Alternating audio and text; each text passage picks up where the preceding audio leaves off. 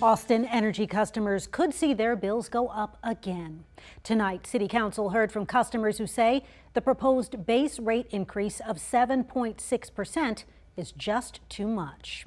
Officials with Austin Energy say they need a $48 million base revenue increase. Some who spoke at the City Council meeting tonight said they can't afford to pay more on their energy bills. This is the very definition of a price shock. Um, how am I supposed to account for this drastic change with rent and grocery prices also increasing?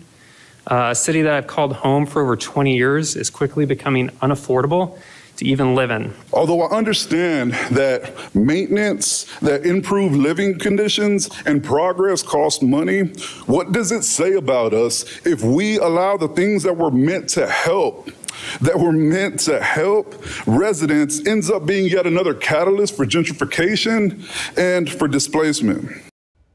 Customers are already seeing higher bills because of a pass-through rate increase council approved back in October. The city council could have voted to approve the base rate increase today, but it delayed taking any action on it until tomorrow. And if it is approved, it would take effect in January.